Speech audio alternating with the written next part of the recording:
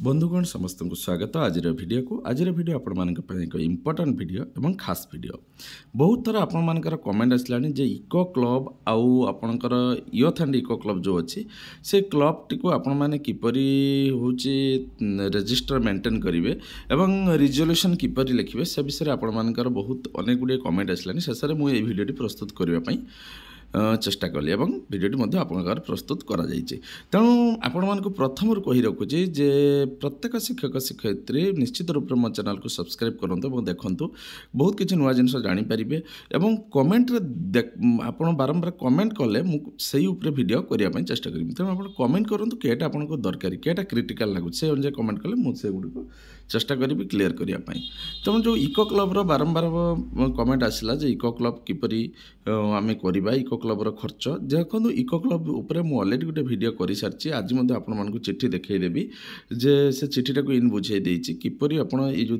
ଦୁଇ ହଜାର ଚବିଶ ମସିହାରେ ଆପଣ କିପରି ଇକୋ କ୍ଲବ୍ରେ ଖର୍ଚ୍ଚ କରିବେ କେଉଁ କେଉଁ ଗ୍ରାଉଣ୍ଡରେ କେତେ ଟଙ୍କା ଖର୍ଚ୍ଚ କରିବେ ଇନ୍ ଡିଟେଲ୍ ମୁଁ କହିଛି।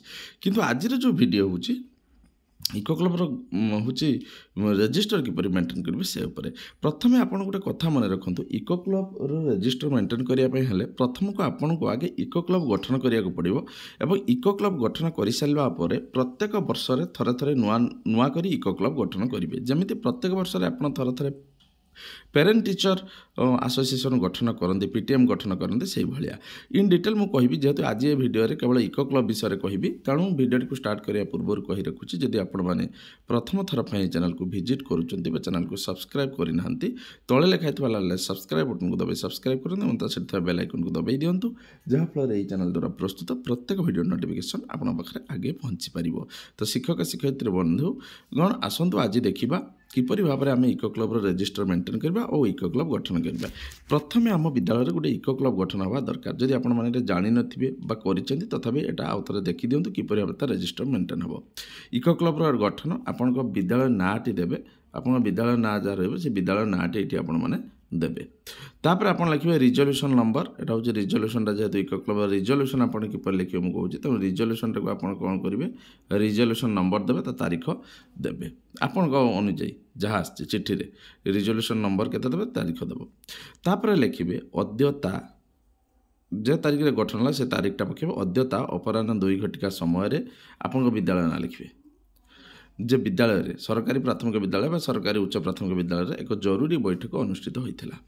ଚେୟାରମ୍ୟାନ୍ଙ୍କ ନାଁ ଲେଖିବେ? ଚେୟାରମ୍ୟାନ୍ଙ୍କ ସଭାପତିତ୍ୱରେ ତାଙ୍କ ଚେୟାରମ୍ୟାନ୍ ଅମୁକ ଶ୍ରୀଯୁକ୍ତ ଡେସ୍ ସଭାପତିତ୍ୱରେ ଉକ୍ତ ବୈଠକ ଅନୁଷ୍ଠିତ ହୋଇଥିଲା। ବୈଠକରେ ବିଦ୍ୟାଳୟର ସମସ୍ତ ଶିକ୍ଷକ ଶିକ୍ଷୟିତ୍ରୀ ଏବଂ ସମସ୍ତ ଛାତ୍ରଛାତ୍ରୀ ଉପସ୍ଥିତ ରହିଥିଲେ। ଏଇଟା ଆସିଲା। ବିଦ୍ୟାଳୟର ପ୍ରଧାନ ଶିକ୍ଷକ ତଥା ଆବାହିକା ବୈଠକରେ ନିମ୍ନଲିଖିତ ପ୍ରସଙ୍ଗରେ ଉପସ୍ଥାପନ କରିଥିଲେ। ଏଭଳିଆ ଲେଖିପାରିବେ ବା ଆକୁ ସଜେଇକି ମଧ୍ୟ ଆପଣ ଚାହିଁଲେ ଆହୁରି ଲେଖିପାରିବେ। ତ ମୁଁ ଆଉ ଥରେ ପଢ଼ି ଦେଉଛି।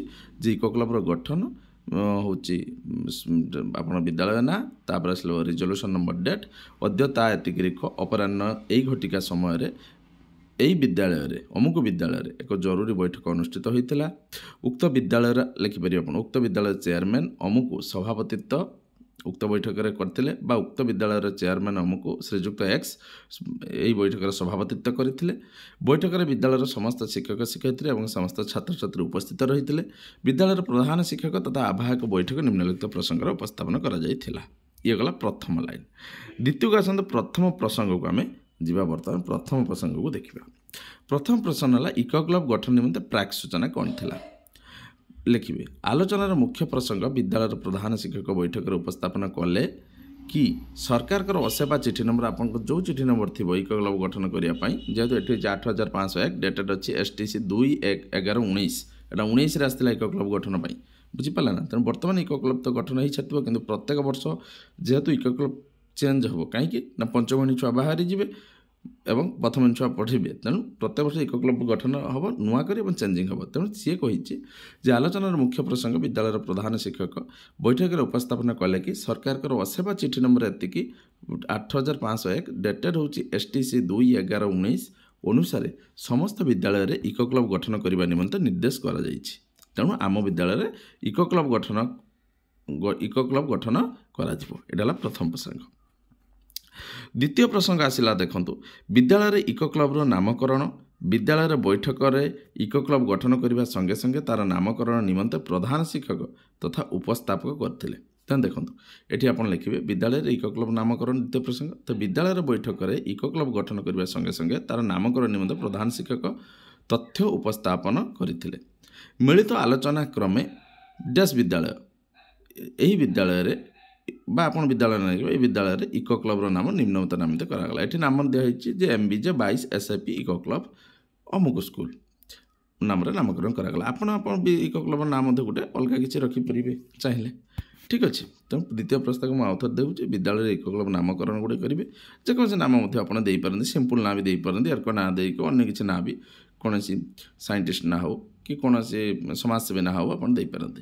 ତ ବିଦ୍ୟାଳୟରେ ଇକୋ କ୍ଲବ୍ର ନାମକରଣ ବିଦ୍ୟାଳୟ ବୈଠକରେ ଇକୋ କ୍ଲବ୍ ଗଠନ କରିବା ସଙ୍ଗେ ସଙ୍ଗେ ତା'ର ନାମକରଣ ନିମନ୍ତେ ପ୍ରଧାନ ଶିକ୍ଷକ ତଥ୍ୟ ଉପସ୍ଥାପନ କରିଥିଲେ। ମିଳିତ ଆଲୋଚନା କ୍ରମେ ଏହି ବିଦ୍ୟାଳୟରେ ଇକୋ କ୍ଲବ୍ର ନାମ ନିମ୍ନମତ ନାମିତ କରାଯାଇ କରାଗଲା। ତାପରେ ନାମଟି ଆପଣ ଲେଖିବେ। ତାପରେ ଆସନ୍ତୁ ଯିବା ତୃତୀୟ ପ୍ରସଙ୍ଗରେ କ'ଣ କୁହାଯାଇଛି ନା ଇକୋ କ୍ଲବ୍ ପରିଚାଳନା କମିଟି ଗଠନ। କେମିତି ଇକୋ କ୍ଲବ୍ର ପରିଚାଳନା କମିଟି ଗଠନ କରାଯିବ ଦେଖନ୍ତୁ। ନା ଇକୋ କ୍ଲବ୍ର ପରିଚାଳନା କମିଟି ସରକାରଙ୍କ ସୂଚନା ଅନୁସାରେ ପ୍ରତ୍ୟେକ ଶ୍ରେଣୀରେ ଜଣେ ବାଳକ ଆଉ ଜଣେ ବାଳିକା ସମେତ ବିଦ୍ୟାଳୟର ପ୍ରଧାନ ଶିକ୍ଷକ ଓ ଜଣେ ସହକର୍ମୀ ଶିକ୍ଷକଙ୍କୁ ନେଇ କ୍ଲବ୍ କମିଟି ଗଠନ କରାଗଲା। ଆପଣ ରୁଲ୍ ଆଣ୍ଡ ରେଗୁଲେସନ୍ ଅନୁଯାୟୀ ପ୍ରଥମରୁ ପଞ୍ଚମ ଭିତରେ ପ୍ରତ୍ୟେକ କ୍ଲାସ୍ରୁ ଆପଣ ଦୁଇଟା ଦୁଇଟା ନେବେ। ଗୋଟେ ଝିଅ ଗୋଟେ ପୁଅ ଏବଂ ପ୍ରଧାନ ଶିକ୍ଷକ ରହିବେ ଏବଂ ସହକର୍ମୀ ଜଣେ ରହିବେ। ଇକୋ କ୍ଲବ୍ ଗଠନ ତାର କେତେ ହେଲା? ପାଞ୍ଚ ଜଣ ଦଶ ବାର ଜଣ ରହିବେ ବୁଝିଗଲା? ତେଣୁ ମୁଁ କହୁନି ଇକୋ କ୍ଲବ୍ ଗଠନରେ ଏଇ ଯେଉଁ କ୍ଲବ୍ ଗଠନ ପ୍ରତ୍ୟେକ ବର୍ଷ ଚେଞ୍ଜ ହେବ। କାହିଁକି? ନା ଆପଣମାନେ ଭଲ ଭାବରେ ବୁଝନ୍ତୁ ପ୍ରଥମାଣୀ ଛୁଆ ପଞ୍ଚମାଣୀ ଛୁଆ ଆଉଟ୍ ହେବେ। ପଞ୍ଚମାଣୀ ଛୁଆ କ'ଣ ହେବେ? ଏ ପଞ୍ଚମାଣୀ ଛୁଆଟା ଆଉଟ୍ ହେବେ ପ୍ରଥମାଣୀ ଛୁଆ ବସିବେ ନୂଆ ଏଇଟା ଆଉଟ୍ ହେବେ। ତେଣୁ ଏଇଭଳିଆ ପ୍ରତ୍ୟେକ ବର୍ଷ ଇଏ ଚେଞ୍ଜ ହେବ ବୁଝିପାରିଲେ?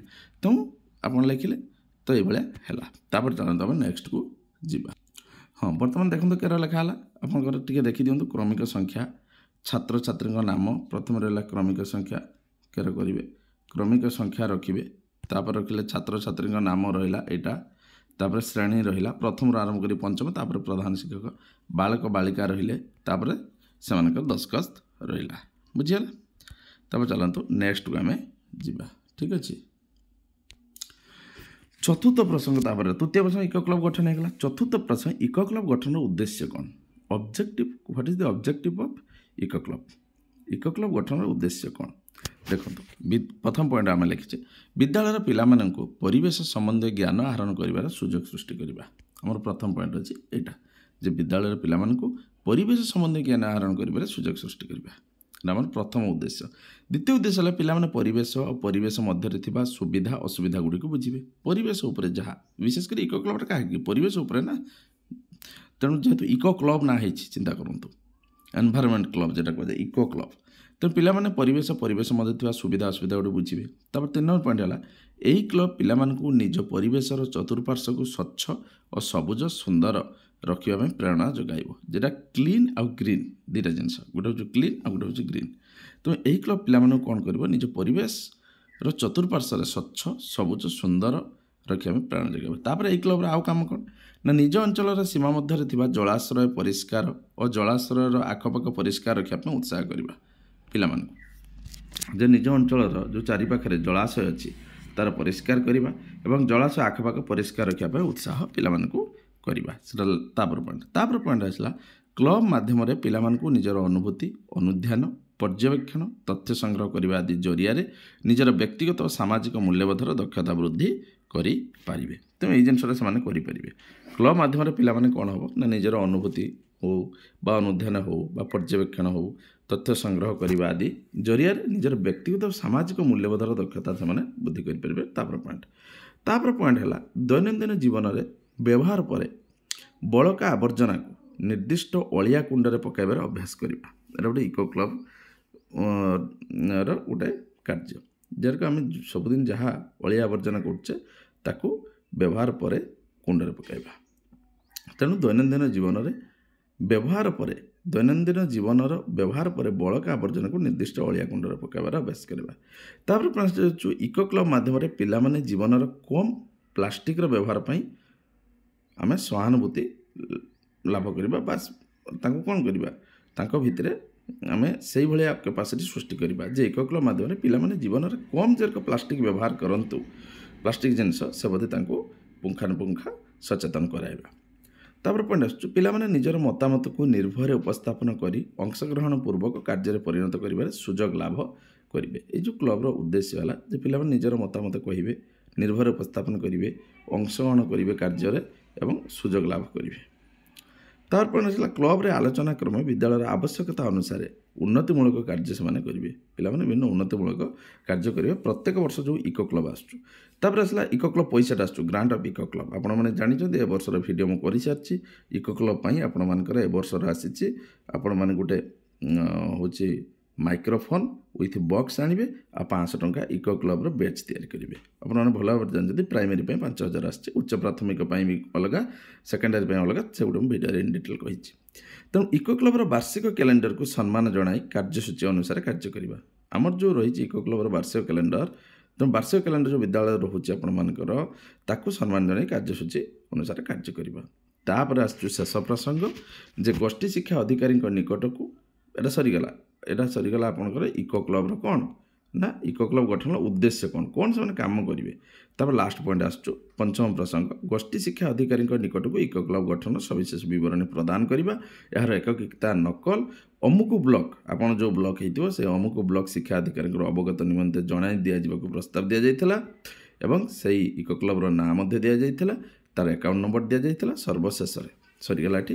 ସର୍ବଶେଷରେ ଧନ୍ୟବାଦ ପୂର୍ବକ ତଥା ଜଳଖିଆ ପ୍ରଦାନ କରାଯାଇ ସମସ୍ତ ସଭ୍ୟ ସଭ୍ୟାମାନଙ୍କୁ ବିଦାୟ ଦେଇ ବୈଠକ ଭଙ୍ଗ କରାଗଲା ତାପରେ ଏଠି ହେଡ଼ମାଷ୍ଟର ସ୍ୱାକ୍ଷର ମାରିବେ ଏଠି ମୁଁ ତଳେ କରିନାହିଁ ସେଇଟା ଆପଣମାନେ ଭଲ ଭାବରେ ଜାଣିଛନ୍ତି ଏଠି ହେଡ଼ମାଷ୍ଟର ସାଇନ୍ ମାରିବେ ଏଇ ଜାଗା ତଳକୁ ହେଡ଼ମାଷ୍ଟର ଏଠି ସବୁ ତ ଆପଣମାନଙ୍କର ଇକୋ କ୍ଲବ୍ର ମେମ୍ବରମାନେ ସମସ୍ତେ ସାଇନ୍ ମାରିବେ ତ ଏଇଭଳି ଭାବରେ ଆପଣ ରେଜିଷ୍ଟରଟିଏ ମେଣ୍ଟେନ୍ କରିବେ ପ୍ରତିବର୍ଷ ଇକୋ କ୍ଲବ୍ ଗଠନ ପାଇଁ ତ ଚାଲନ୍ତୁ ପୁଣି ନେକ୍ସଟକୁ ଆମେ ଦେଖିବା ଦେଖନ୍ତୁ ପୁଣି ତା'ର ରିପିଟେସନ୍ ହେଲା ରିପିଟେସନ୍ ମାନେ ସେଇଟା ତ ଗଠନ ହେଇଥିଲା ଯାହା। ତାପରେ ଆମେ ପୁଣି ତେଇଶ ଚବିଶ ତାକୁ ରିପିଟ୍ କଲେ।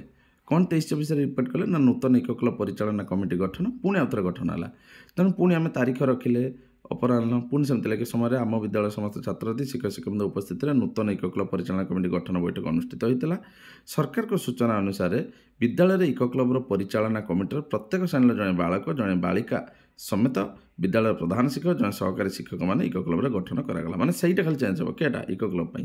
ଆପଣଙ୍କର ଯେଉଁ ମୁଁ କହିଥିଲି ପ୍ରଥମ ଦ୍ୱିତୀୟ ତୃତୀୟ ପଏଣ୍ଟଟା ଚେଞ୍ଜ ହେବ। ତେଣୁ ତୃତୀୟ ପଏଣ୍ଟଟାକୁ ଏମିତି ଚେଞ୍ଜ କରିବେ। ରିଜଲ୍ୟୁସନ୍ ଲେଖିବେ ଉପରେ।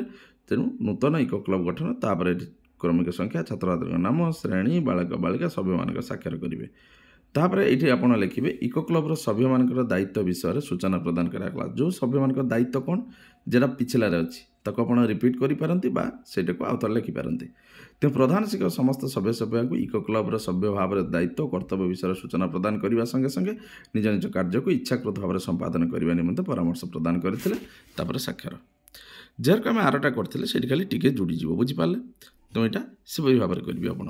ନୂତନ ଇକୋ କ୍ଲବ୍ ପରିଚାଳନା କମିଟି ଯେଉଁ ଗଠନ କରିବେ ଦୁଇ ହଜାର ତେଇଶ ଚବିଶ ପାଇଁ ସେଇ ଯେଉଁ ତିନି ନମ୍ବର ପଏଣ୍ଟଟା ଥିଲା ଯେଟା ସେଇଟା ଖାଲି ଚେଞ୍ଜ ହେବ ଚେଞ୍ଜ ହେଇକି ଏଇଟା କରାଯିବ। ତାଙ୍କ ଦାୟିତ୍ୱ ବିଷୟରେ ଆଉ ଥରେ କୁହାଯିବ। ଇଏ ଗଲା ଆଉ ଗୋଟେ ପଏଣ୍ଟ ବର୍ତ୍ତମାନ ଦେଖନ୍ତୁ ତାର ରିଜଲ୍ୟୁସନ୍ ଆପଣମାନେ କିପରି ଲେଖିବେ? ଅଧିବେଶନ ରହିଲା ତାର ଦେବେ ଅଧିବେଶନ ନମ୍ବର ଡେଟ୍ ପକାଇବେ ଡେସ୍ ପ୍ରାଥମିକ ବିଦ୍ୟାଳୟ ଲେଖିବେ ତାରିଖ ଲେଖିବେ ଅପରାହ୍ନ ଏକ ଘଟିକା ସମୟରେ ଏସ୍ଏମ୍ସିର ଏଇଟା ଏସ୍ଏମ୍ସି ପାଇଁ ଇକୋ କ୍ଲବ୍ର ପଇସାଟି ଉଠାଇବା ପାଇଁ।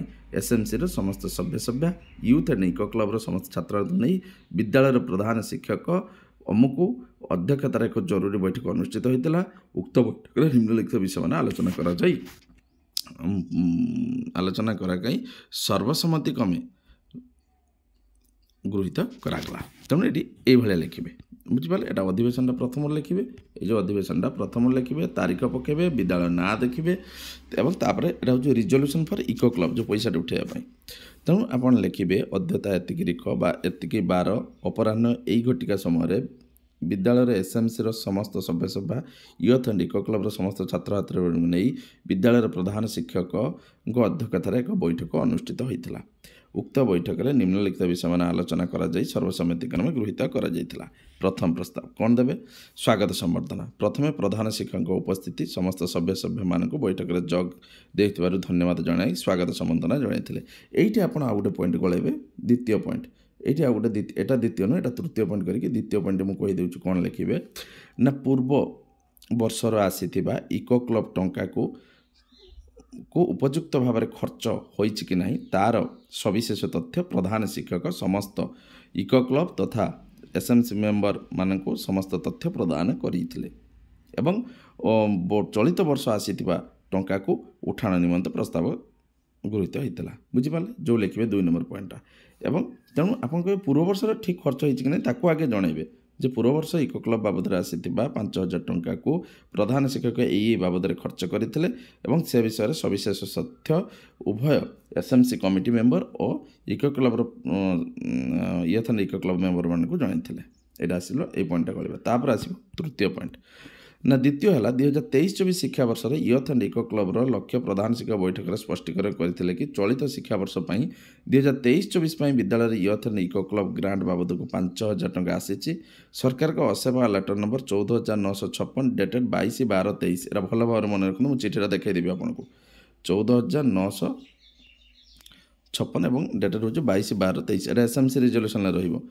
ଅନୁସାରେ ଗାଇଡ଼ଲାଇନ୍ ରହିଛି କି ପ୍ରାଥମିକ ବିଦ୍ୟାଳୟରୁ ମିଳିଥିବା ଅର୍ଥ ରାଶିରେ provision of sound system with microphone ଏଇଟା ପାଇଁ ପାଞ୍ଚ- ଚାରି ହଜାର ପାଞ୍ଚଶହ ଟଙ୍କା ଆସିଛି provision of sound system with microphone ପାଇଁ ଚାରି ହଜାର ପାଞ୍ଚଶହ ଟଙ୍କା ଏବଂ badges for youth and eco club ପାଇଁ ଇୟଥ୍ ଇକୋ କ୍ଲବ୍ର ଯେଉଁ ଦଶ ଜଣ ମେମ୍ବର ରହିଲେ ସେ ଦଶ ଜଣ ପାଇଁ ପଚାଶ ଟଙ୍କା ହିସାବରେ ପାଞ୍ଚଶହ ଟଙ୍କା ବ୍ୟୟବରାଦ କରିବା ପାଇଁ ନିର୍ଦ୍ଦେଶ ରହିଛି ତେଣୁ ଏହି ଟଙ୍କାକୁ ଉଠାଣ କରାଯିବା ପାଇଁ ତାପରେ ଲାଷ୍ଟ ପଏଣ୍ଟ ତେଣୁ ଏହି ଟଙ୍କାକୁ ଉଠାଣ କରାଯିବା ପାଇଁ ଏସ୍ ଏମ୍ ସି କମିଟି ଆମ ତ- ମାନଙ୍କର ସହଯୋଗ ବା କମିଟିମାନଙ୍କର ପଇସାକୁ ଉଠାଯାଇ ଉପଯୁକ୍ତ କାର୍ଯ୍ୟରେ ବିନିଯୋଗ କରିବା ପାଇଁ ଏସ୍ ଏମ୍ ସି କମିଟି ନା ଏଇ କମିଟିରେ ପ୍ରସ୍ତାବ ଗୃହୀତ ହୋଇଥିଲା।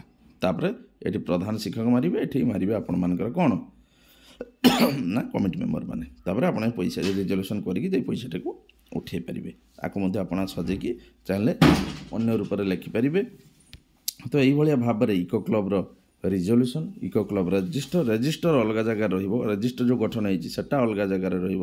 ଇକୋ କ୍ଲବ୍ର ଯେଉଁ ଇକୋ କ୍ଲବ୍ ଗଠନ ହେଇଛି ସେଟା ଅଲଗା ଜାଗାରେ ରହିବ ଏବଂ ଆପଣଙ୍କ ଯେଉଁ ରିଜଲ୍ୟୁସନ୍ ପଇସା ଉଠାଇବା ପାଇଁ ସେଟା ଅଲଗା ଜାଗାରେ ରହିବ କିନ୍ତୁ ମନେ ରଖନ୍ତୁ ଏ ବର୍ଷ ପାଇଁ ଆସିଛି ଚାରି ହଜାର ପାଞ୍ଚଶହ ଟଙ୍କା provision of sound system with microphone ପାଇଁ ଆସିଛି ଚାରି ହଜାର ପାଞ୍ଚଶହ ଟଙ୍କା ବ୍ୟାଚ୍ ପାଇଁ ଆସିଛି ଉଁ, ହେଉଛି ଆପଣଙ୍କ ପଚାଶ ଟଙ୍କା ମୁଁ ଚିଠି ଆପଣଙ୍କୁ ଦେଖ ଭଲ ଭାବରେ ଚିଠିକୁ ଲକ୍ଷ୍ୟ କରନ୍ତୁ ଏଇଟା ହେଉଛି ସେଇ ଚିଠି ଯେଉଁଟାକି ଆପଣମାନଙ୍କ primary suggestive activity for youth and eco club ପାଇଁ ଚିଠି ହେଇଛି ଯେଉଁଟାକି ମୁଁ ଚିଠି ପକାଇଥିଲି ଆପଣମାନଙ୍କୁ ଦେଖନ୍ତୁ ବାଇଶ ବାର ଦୁଇ ହଜାର ତେଇଶରେ ଚିଠି ହେଇଛି ଚିଠି ନମ୍ବର ରହିଛି ଚଉଦ ହଜାର ନଅଶହ ଛପନ ଏସ୍ ଟି ସି ଦୁଇ ହଜାର ତେଇଶ ଅନୁଯାୟୀ ଆପଣ ଚିଠି ଅନୁଯାୟୀ କାମ କରିବେ। ସେ ଚିଠିରେ କ'ଣ ରହିଛି ଦେଖନ୍ତୁ ପ୍ରାଇମେରୀ କଥା କହୁଛି ତାପରେ ଏଲିମେଣ୍ଟାରୀ ତାପରେ ସେକେଣ୍ଡାରୀ ପ୍ରାଇମେରୀ ମାନେ ଏଇଟା ହେଉଛୁ ପ୍ରଥମରୁ ପଞ୍ଚମ ଏଇଟା ହେଉଛୁ ପ୍ରଥମରୁ ଅଷ୍ଟମ ଏଇଟା ହେଉଛି ସେକେଣ୍ଡାରୀ ଚାରି ହଜାର ପାଞ୍ଚଶହ ପାଞ୍ଚଶହ ଟୋଟାଲ୍ ଆସିଛି ପାଞ୍ଚ ହଜାର ଟଙ୍କା। ଏଇ ଯେଉଁ ପାଞ୍ଚ ହଜାର ଟଙ୍କା ଆପଣ ତଳେ ଦେଖୁଛନ୍ତି ଏଇ ପାଞ୍ଚ ହଜାର ଟଙ୍କା କ'ଣ ପାଇଁ ଆସିଛି ଆପଣଙ୍କୁ ମୁଁ ଦେଖାଇ ଦେଉଛି। ଦେଖନ୍ତୁ ଏଠି ଲେଖା ହେଇଛି provision of sound system with microphone ପାଇଁ ଆପଣ ଚାରି ହଜାର ପାଞ୍ଚଶହ ଦେବେ। ବେଜେସ୍ ପାଇଁ ଇକୋ କ୍ଲବ୍ ଦଶ ଜଣ ମେମ୍ବରକୁ ସିଏ ଦେବେ ପାଞ୍ଚଶହ ଟଙ୍କା। ଟୋଟାଲ୍ ଆସିଗଲା ଆପଣଙ୍କର ପାଞ୍ଚ ହଜାର ଟଙ୍କା ଦେବେ ହେଲା। ଏବଂ ଅନ୍ୟ ଯେଉଁ ଗ୍ରାଉଣ୍ଡ ଅଛି ମୁଁ ତାକୁ ଭଲ ଭାବରେ କହିଛି ଯେ କିପରି ଭାବରେ ୟୁଜ୍ କରିବ। ଆପର ପ୍ରାଇମେରୀ ସ୍କୁଲ୍ ପାଇଁ ସେଟା ପନ୍ଦର ହଜାର ଟଙ୍କା ସେକେଣ୍ଡାରୀ ପାଇଁ ପଚିଶ ହଜାର ଟଙ୍କା ଅଛି। ତାଙ୍କ ଦୁନିଆ କାମ ଅଛି ସେ ଅନୁଯାୟୀ ତା'ର ରିଜଲ୍ୟୁସନ୍ ମଧ୍ୟ ଅଲଗା ଭାବରେ ଲେଖାଯିବ।